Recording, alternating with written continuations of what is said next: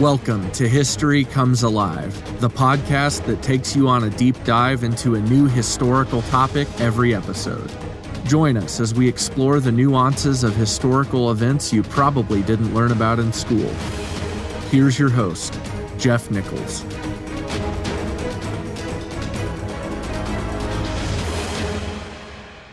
Welcome back. This is the actual fourth and final episode of our study of Massasoit, Wampanoag Sachem and friend to the Pilgrims. His life, his dedication, his contribution to the success of Plymouth Colony. We've got a lot to cover this week, and if you happen to catch the bonus episode, you're a little bit ahead of the curve.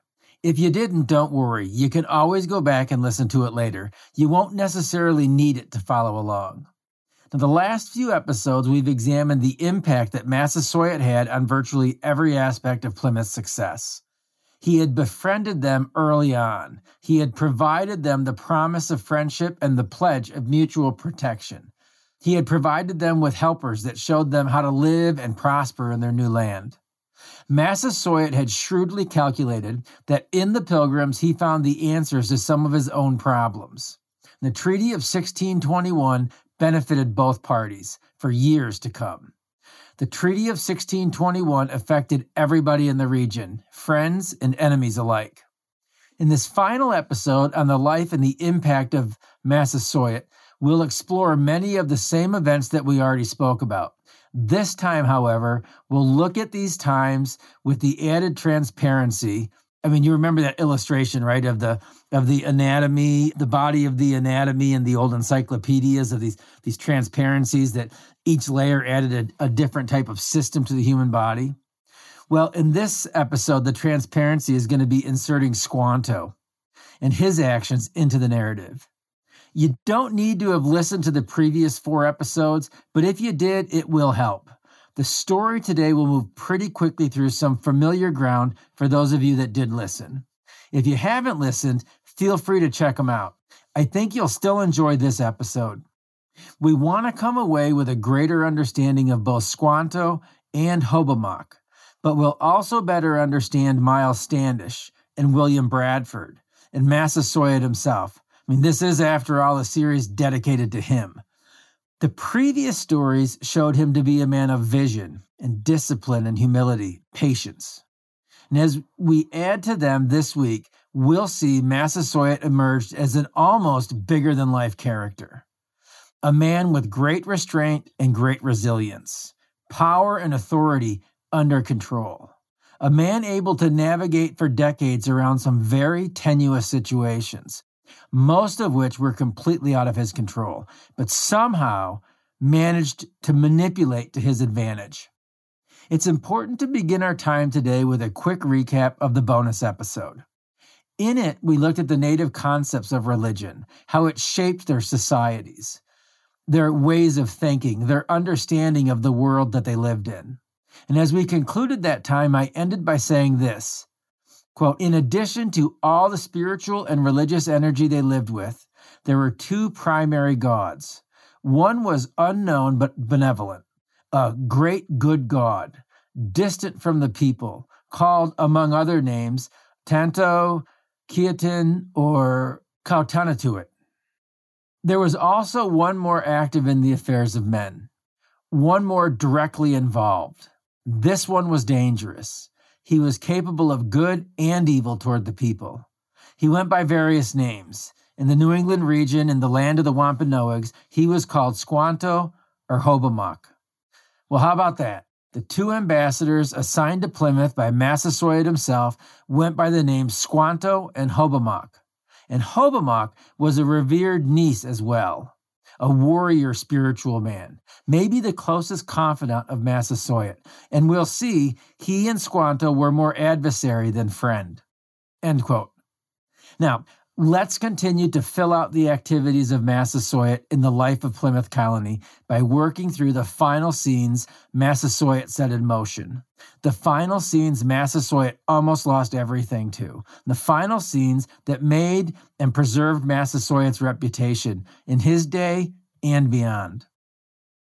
It's amazing to consider that the dissident super saints, the ultra conservative Christians of their day, those to the right of even the Puritans, the Pilgrims, would allow Squanto and Hobomok to even come around Plymouth at all, let alone live there, let alone place their trust and security in their hands.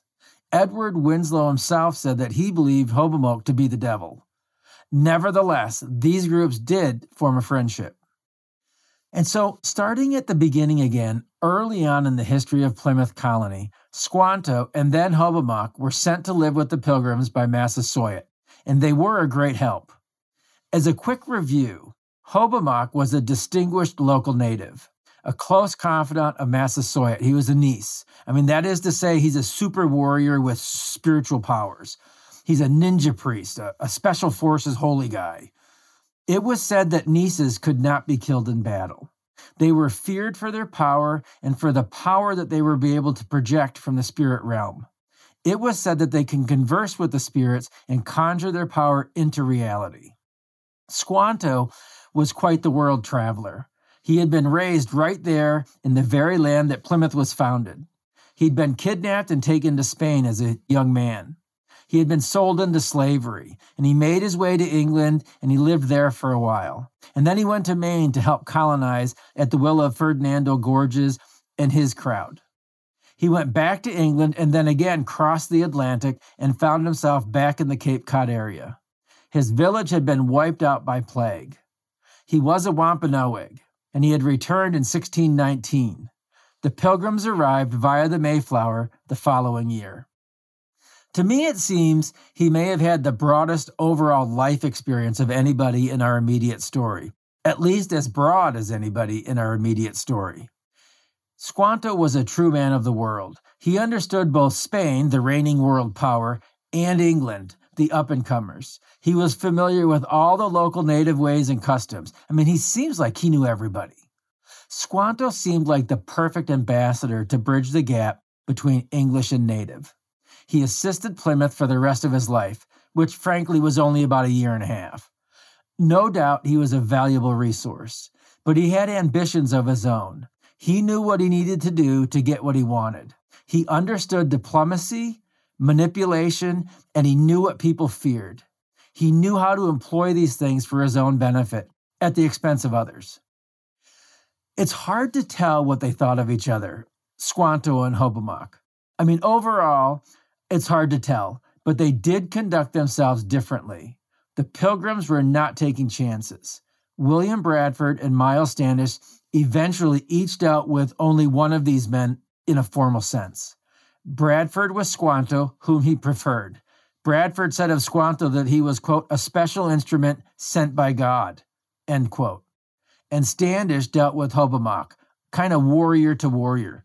He preferred him anyways. We already saw how valuable Hobomok was in the massacre at Weymouth. Bradford did write of the jealousy, or at least the competition that had existed between these two men. So, upon Squanto's commencement of service, he set to work to encourage the other natives to embrace the pilgrims. He'd been to England and could boast of the power of King James. This was a plus for the pilgrim reputation. The flip side is that he told those same natives that the pilgrims had the plague hidden in the floor of their storehouse. He told them he had the ability to influence the pilgrims to release it or not release it. And that was a terrifying thing. I mean, they'd already lost a bunch of people to these plagues. So his reputation among the natives grew. When the pilgrims heard about this, they set the record straight. They did, however, tell the natives that their God did hold the plague in his hand and had the power to release it upon anybody that might threaten them. This was still a scary thing for them to hear based on their own religion, what they believed about the character of God that they worshiped, and what they had already experienced with these plagues. But the reality is, Squanto was still a liar. The pilgrims were as honest as possible with the natives. It would serve to calm some very tense times. The entire region seemed to be more at ease once the pilgrims settled in. They felt their charity, their fairness, and integrity, and it had a good effect. And so did outsiders, even years later. In 1628, Isaac de Rasieres of New Netherland was impressed by the natives' high regard for the English. In his opinion, the Indians, quote, better conducted themselves, end quote, because of the pilgrim example. This was a work in progress, however. The first summer of 1621 was just as the relations were developing between Massasoit and the Pilgrims, is when Squanto, Hobomok, and Tokamahamon, you remember we mentioned him a couple of episodes ago. He was a guy that lived there for just a short time at Plymouth. Uh, well, anyways, those three guys had been kidnapped by Corbitant, a rebellious sachem under Massasoit. And peace had come through force at that point. By the end of the first growing season, then in 1621, the pilgrims were getting established in their new homeland. The harvest was a time to celebrate. It was a time of feasting. The celebration lasted three days. Massasoit was there. On the menu was assorted waterfowl and fish like cod and bass, and native corn often eaten as cornbread or porridge. The natives provided the venison. What was not on the menu for that historic first Thanksgiving was turkey. Although good relations had been established that year, this must have been a tense time. At least it must have started out that way. I mean, I think it, it ended up more as a, a time of showmanship. But Massasoit had arrived with 90 warriors. That's intimidating. When he'd first arrived that spring, he only had 60. 90 warriors is quite a show of force. The pilgrims, not to be outdone, although they could not match the human force, demonstrated their firepower by discharging their weapons. Although I'm willing to bet it wasn't all at once. So that was the one thing Massasoit had wasted no time in requesting the previous spring, you know, when he first met the pilgrims, was he wanted guns. And that was the thing that the pilgrims had always resisted. They did not provide the Wampanoags with guns. So all was going well, but this is about the time that fractures began to appear. As I've stressed all along, human relations and diplomacy can be tricky things. Passions can run high, emotions and loyalties can be stretched. There's times when courage and discipline are necessary and often lacking when trusting the system is safer than trusting even our own senses. Sometimes we discern this in act, and sometimes we miss it. And quite frankly, sometimes we miss it on purpose. It's a funny thing about the trickiness of human relations and diplomacy. So, in September of 1621, a year and a half before the healing of Massasoit and the eventual conflict with the Massachusetts, known as the Weymouth Massacre, a small party of pilgrims set out with Squanto for the Massachusetts Bay to trade for furs. The next six months would prove to be very interesting. Actually, unbeknownst to all, this would be the countdown to the death of Squanto 14 months later. It would be a very busy 14 months for Squanto. Busy indeed, so buckle up. So, again, things were going pretty well heading into the fall of 1621. The Massachusetts natives were going to become a trading partner via Squanto. That seemed good. Here's where the primary issue was. The Massachusetts tribe was located to the north of the Wampanoags and Plymouth. They controlled a pretty good pipeline for furs, and that could really help the pilgrims. They had an aggressive enemy to their north in the Abenaki, so the Pilgrims looked like a really great ally for the Massachusetts. I mean, in them, they had a business partner and a friend with European weapons to help them in times of danger from regional adversaries. Does that scenario sound familiar? I mean, it sounds a lot like the relationship Massasoit had already formed. Here's the rub. Although it might not be accurate to say the Wampanoags and the Massachusetts were enemies, I mean, the Wampanoags had more immediate concerns, you know, about the Narragansetts, and the Massachusetts had their hands full with the Abenakis, but they were competitors for trade and they were right next door to each other. As Massasoit's ambassador led his friends to his competition, Hobomok looked on. The first manipulation by Squanto here was the very act of introducing the Pilgrims to the Massachusetts as trade partners. Secondly, once en route, Squanto informed the Pilgrims that the Massachusetts had been planning to attack them. His suggestion was to take the furs by force once they arrived. Wisely, the Pilgrims refused to start any problems. Defend themselves against attack, they would do. Provoke hostilities, they would not. As it happened, the trading was a success. In fact, later it would be worked out that the Massachusetts would actually plant additional crops that would be harvested and sold to the English. That's pretty slick little deal, setting up for a long term relationship.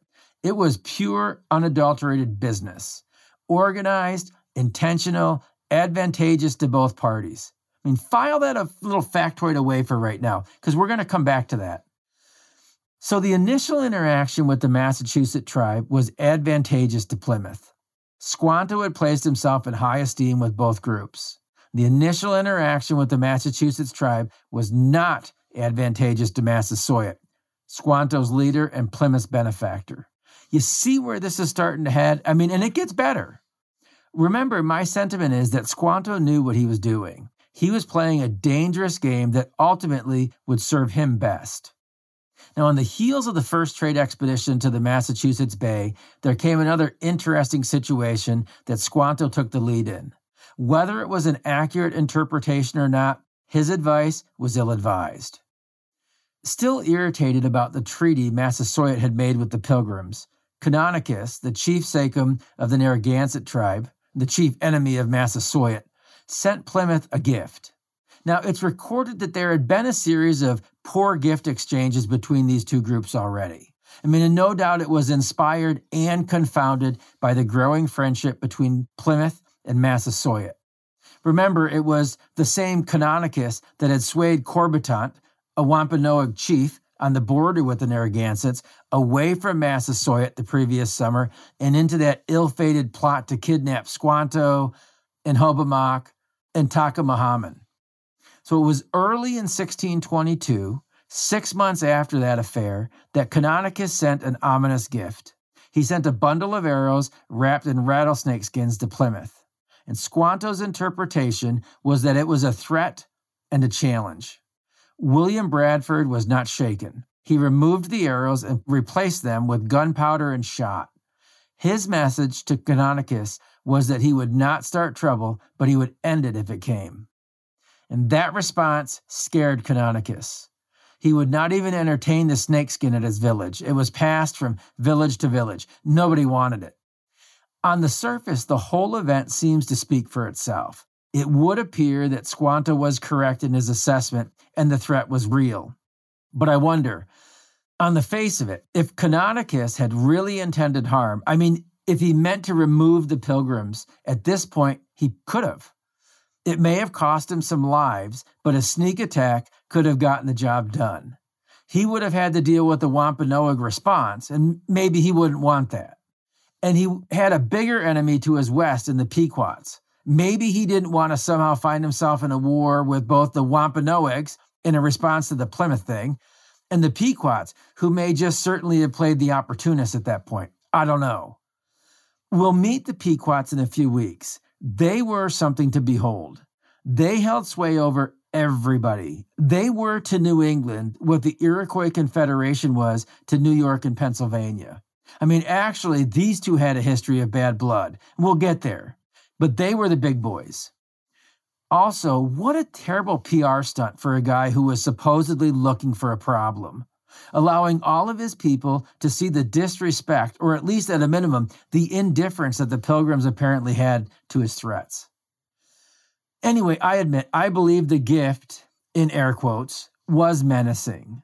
But if you think about it, most of the other tribes had come to terms with the pilgrims the Wampanoags, the Massachusetts, the Nausets. I mean, the kidnapping hadn't ended well. Maybe Canonicus was really trying to establish at least a peaceful friendship. Frankly, I don't know. But here's the rub. Here's what I do know. Hobomok had advised the pilgrims against responding to Canonicus until they spoke with Massasoit and sought his counsel. This was a power move by Squanto. He dismissed Massasoit's value. When Massasoit heard the news, he charged Plymouth with breaking their treaty. He was angry. He must have been very well aware of what Squanto was doing. The pilgrims were just ignorant to a point. I mean, Bradford likes Squanto. I can understand that, but a conflict with the Narragansetts would have absolutely engulfed the Wampanoags. And don't forget, Squanto had been telling the natives that the pilgrims had the plague stored up. He could convince them to unleash it. He told them he could convince the English to attack anyone he wanted them to. He told the natives of the power of King James. He told them that he could tap into that as well. At the same time, he was telling Plymouth of his prowess on their behalf with all the dangerous tribes out there. He was really protecting them with his own brand of diplomacy. I mean, blah, blah, blah, whatever, Squanto.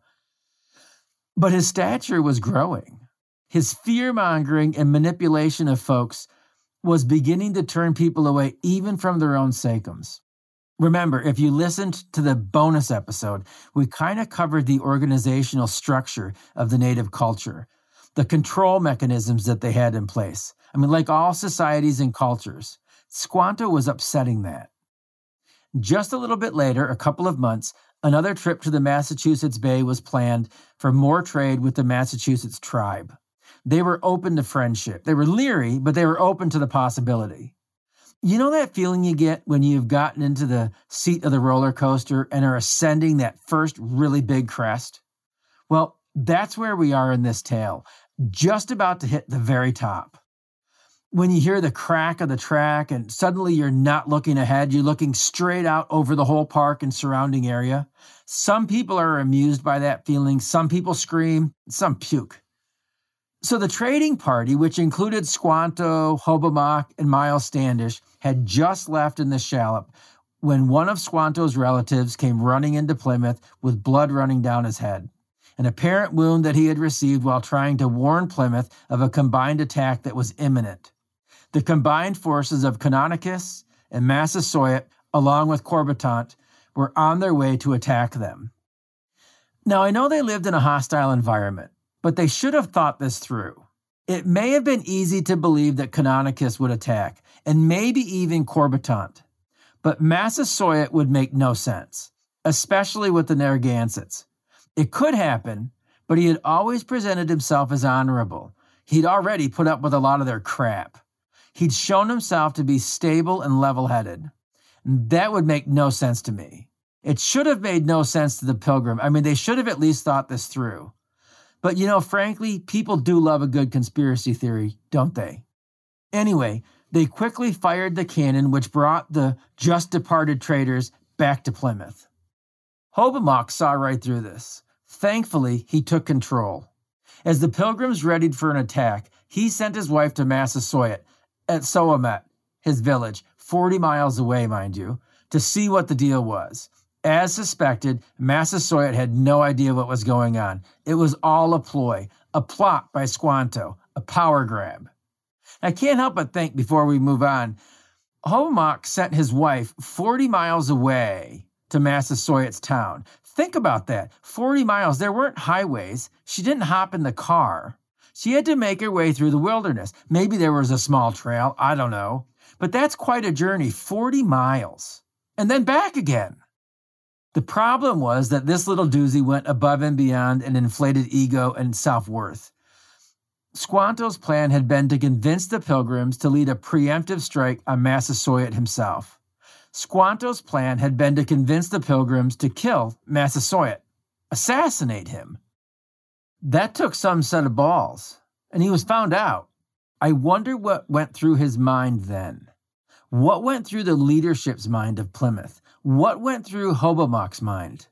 Like anything else, insult and disgust can be measured in degrees. We tend to tolerate more based on our perceived need or the value of something.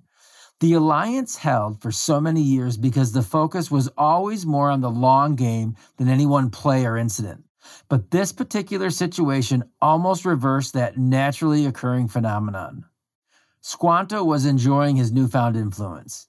His target in this was not Canonicus or even Corbitant. It was Massasoit, the one guy that he, Squanto, recognized had more authority and clout than he did. The one guy who always would. And he had to go. Squanto knew not only the might of the gun, but the ability of Miles Standish. His thought was that if Standish targeted Massasoit, he'd get him. I mean, who cares what the cost would be? The Sachem would be out of the way, and Squanto's path would be clear. Strangely, the trade envoy did take place after this with the Massachusetts, and that budding friendship grew even more. Imagine Massasoit's reaction. I can understand his anger. I really appreciate his discipline and patience in all of this. the betrayal of the Pilgrims through trade and alliance with the Massachusetts, the assassination plot from Squanto, a man that he had taken in and then assigned a pretty important role. And then I think, I mean, we've already caught Squanto lying and cheating several times here. Then I think to myself, maybe Massasoit never liked Squanto. Maybe the Plymouth gig was a convenient way to just get rid of him. Maybe that's why Hobomok was really there, to keep tabs on Squanto. It really makes no sense why there would have to be two or three guys at Plymouth, all doing the same thing. I mean, this was just a small settlement at this point. So back to the roller coaster analogy. Did you feel that tickle in your belly when we went right over the top of the crest? This episode was not over, not by a long shot. Massasoit made the trip to Plymouth personally. That must have been nerve wracking. I doubt that he came alone. I doubt that he was feeling quite as festive as he had the previous fall. I'm surprised Hobomok had not already killed Squanto. I'll bet these were not very easygoing times around camp. So Massasoit wanted Squanto, yeah, I'll bet he did. But the Pilgrims somehow managed to convey the massive worth and trust that they had in him as a guide and a teacher. He was, after all, familiar with both native and European culture. Think about this from Massasoit's perspective. These freaking Englishmen really did test his patience. I know, or at least I'm pretty sure, I'd have let them all have it at this point. I probably would not have left Plymouth until the last of the coals were turning to ashes. Remember when I quoted his son, King Philip, like 50 years after this fact, when he was addressing that generation of Englishmen? He reminded them that there was a time when his father, Massasoit, was as a parent and they, the English, were as little children, or something like that. It seems pretty accurate. Someone had to play the adult here, and it was not the Englishman. Let me ask you have you ever been shockingly shocked? Like so shocked you can't think straight, and then you're relaxed? But as you worked through the event after the fact, you got mad all over again? That return to anger, I have found, is usually more determined on the second go round. You agree with that? That's what happened to Massasoit here. He went away and got madder. Eventually, he sent a couple of guys to Plymouth to take care of Squanto. He tried to use native diplomacy. I mean, he actually sent beaver pelts as a gift. The reciprocal gift that was expected was Squanto. Now, remember when we first met Massasoit like three episodes ago? Remember, he wore a knife around his neck. It laid across his chest for everybody to see. Well, that knife had been given to his emissaries. They told the men of Plymouth that their instructions from Massasoit were to cut the hands and the head off of Squanto with that knife. That must have been a big knife. Massasoit even called on the Treaty of 1621 as his right. The treaty did say that if either party was threatened, the other would come to their aid. Certainly, an assassination plot would represent a threat. Although the furs were rejected, the pilgrims said that they would not trade a man's life for furs. They did reluctantly agree to honor the treaty. And their great guide and translator would be given over. I wonder how the whole conversation took place. I mean, what was going through the mind of William Bradford, or Miles Standish, or Edward Winslow, or Hobomok, or Squanto? Well, just in the nick of time, just as you're recovering from that first great toss of the roller coaster, here comes another, not as big, but on the heels of the first one, big enough. It's only the first in a series of small but rapid paced jolts that you're about to face, and you laugh, or you puke, and you get yourself ready. So, just in the nick of time, an unexpected ship was spotted near Plymouth Harbor. In those days, that could mean trouble, legitimately.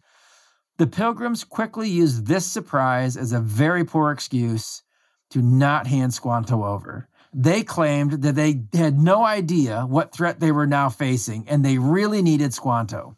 And the men, they were disgusted, Massasoit's men, but they left Plymouth with the furs and without Squanto's hands or head. Squanto never again wandered too far from the safety of the English. I don't know what Massasoit's response was. I didn't find that recorded, but the issue apparently was never brought up again. But hold on, this whole thing gets better. The ship was Thomas Weston's gang. You remember the guys that would settle Wessagusset colony. As far as the time frame, we're about six months away from Squanto's death. So there's a lot going on. I mean, this is a great big budget Hollywood production being played out right before our eyes. You remember the rest of the spring and summer of 1622, the Plymouth folks played host to this very unprepared group of would be colonizers. They had come with supplies, but like zero experience for the colonial life. They couldn't farm, they couldn't hunt. They would be trouble pretty quick out of the gate, both while at Plymouth and then from their own colony of Wessagusset. We covered these guys pretty extensively a few episodes ago. And you recall, the Massachusetts tribe had agreed to plant extra crops to trade with the pilgrims. Well, consider that corn the Wessagusset colony would steal. Consider that theft, along with a lot of others, as part of the reason the friendship with Plymouth went south. The Massachusetts had been a little leery of the English, but had been building a good rapport with Plymouth.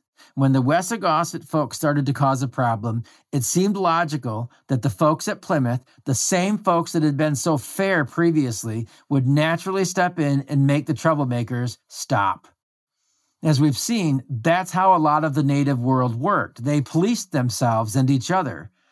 No wonder the Massachusetts could not understand why Plymouth would not help. I mean, under English law, they had no authority to do so. So, as the situation grew starker and starker, as the relations grew more and more tense, as the Wessagusset colony frankly became more and more hungry, things got out of control. First, the Massachusetts basically overcharged the English for trade goods. Then they hired them out for labor when there was no money, nothing left to trade. Remember, one specific task was to build canoes. Now, let's back up a bit and reapproach this from a slightly different angle. Because meanwhile, Massasoit's disgust had gotten the better of him by late summer. He had cut off the Plymouth colony. He did not visit them, he did not trade with them. He who had been their biggest benefactor and best friend now showed open hostility. His warriors openly taunted the pilgrims. This was a dark time the darkest time for Plymouth. I mean, actually, it's a dark time for Wessagusset, too. I mean, they weren't even going to make it out of this thing. Without the help of Massasoit and without the cooperation of the Massachusetts tribe, the two English colonies were reduced to eating groundnuts and shellfish. Boy, had they come a long way from the days of that first Thanksgiving. It's really a good thing that calmer heads prevailed, at least in Plymouth. The Wessagusset folks had pitched a plan for the English to launch a joint attack on the natives. I mean, like that would have ended well, right? Needless to say, Plymouth Colony was intimidated by all of this isolation and all of the danger that was being presented. It was during these days that there was even a division in Plymouth by Bradford's own account. As I said earlier, Bradford was still a Squanto guy, and it makes me question him a little sometimes. While Standish was a Hobomock guy, I think I would have been too. Standish understood the danger and got very busy readying Plymouth for the seemingly inevitable battle to come. But it didn't. Standish was in a bad place. He was a hired gun. He was not a pilgrim. He was not a Puritan. He was not in the leadership of Plymouth. His opinion really didn't count. I mean, if it had, they may have rid themselves of Squanto long before now. But then, way out of the bounds of normalcy, in October of 1622, Massasoit and Squanto came to terms and made nice with each other. The truce came very unexpectedly. It's very uncommon in native culture, based on what had happened.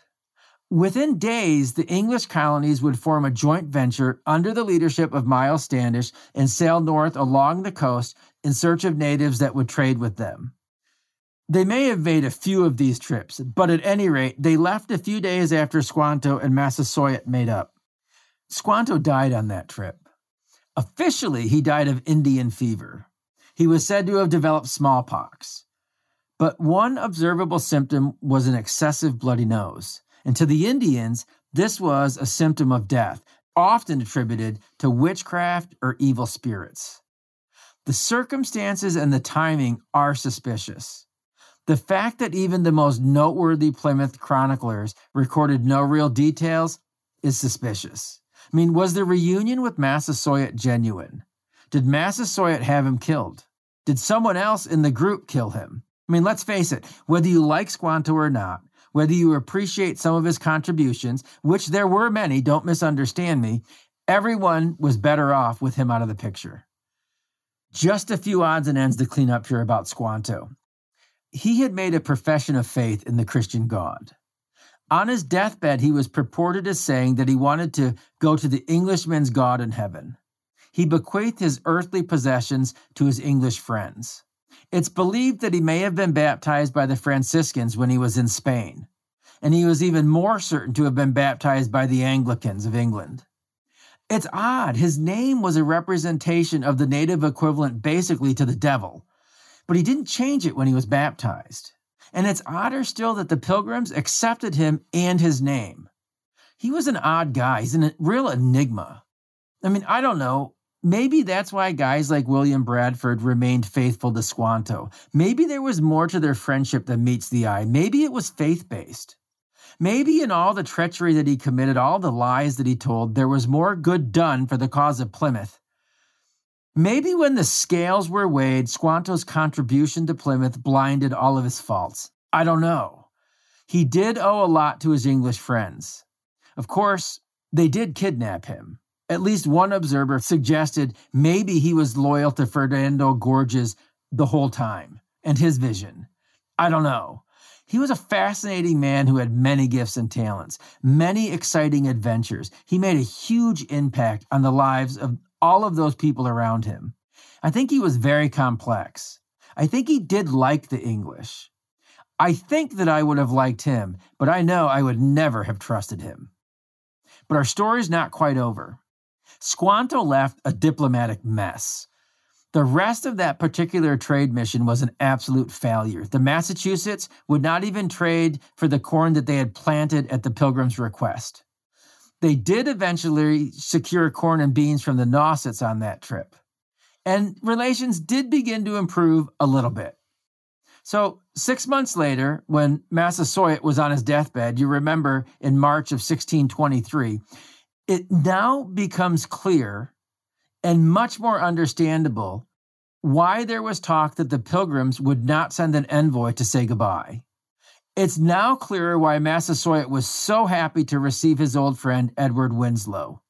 It makes the healing at the hands of Winslow in the sight of so many witnesses. I mean, even the Dutch had sent representatives to pay their respects.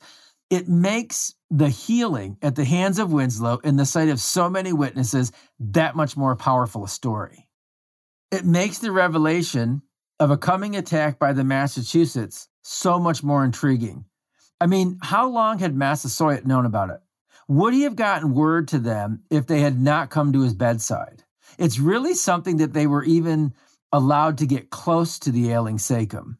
I would imagine many of the natives there from a host of tribes. You remember, there were a lot of folks crowded into Massasoit's town and even into his house.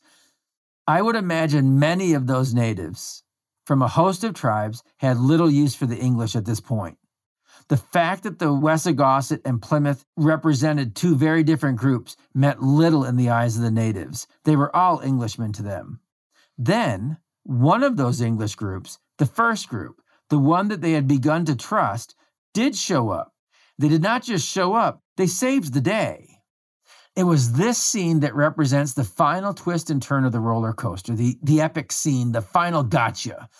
With advanced knowledge of the peril to come, the pilgrims, under the leadership of Miles Standish, with his warrior friend Hobomock, took out the leaders of the Massachusetts aggressors.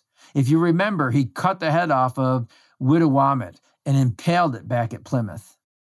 The times would be tough for a while in Plymouth. They lost a lot of respect from the natives because of the messes made by Squanto and the Wessagusset colony. But their most important friend and ally, their greatest benefactor, was again on their side. With the death of Squanto, the healing of Massasoit, and the massacre at Weymouth, which not only weakened Massasoit's rivals by taking out several of their warriors, including a few pnieses, it caused the abandonment of Wessagusset Colony. The troublemakers were gone. The Treaty of 1621 was restored. Plymouth had gone a long way in cleaning up their own mess. To summarize the life of Massasoit, I want to read the final paragraph of an article written by John H. Humins for the New England Quarterly.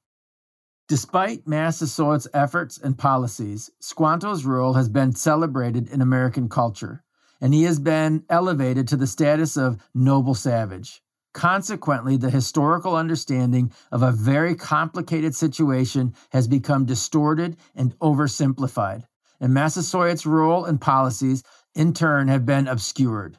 A politically astute leader, Massasoit devised a diplomatic plan to provide greater security for himself his weakened confederation, and the English plantation. But this plan was disrupted by Squanto, an individual bent on becoming the Indian chief for the English newcomers. Squanto's bold actions temporarily thwarted Massasoit's strategy and led to an intense rivalry, which ultimately jeopardized the Indian Pilgrim relationship.